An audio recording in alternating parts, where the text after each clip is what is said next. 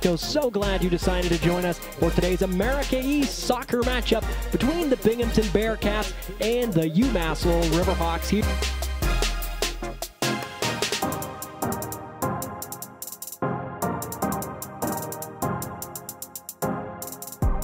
Here at Cushing.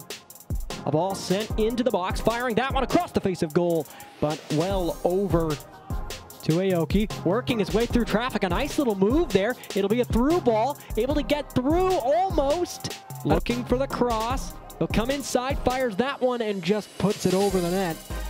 Binghamton wearing their all green colors. Going from right to left across your screen. An early chance and a no angle goal by the Riverhawks. What a shot there! Schulten working his way back in, driven along and out of play. Have a lead, 1 0. Is that one sent in? And that one goes in. Corner kick, that one whipped in high towards the back post. It'll be a battle now. What a great save made by Adam Henry.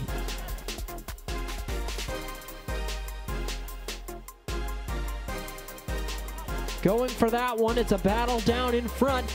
And that one off of the, the glove away. Able to keep possession. Firing that one. A good save made by Henry as he and Binghamton come away with the victory.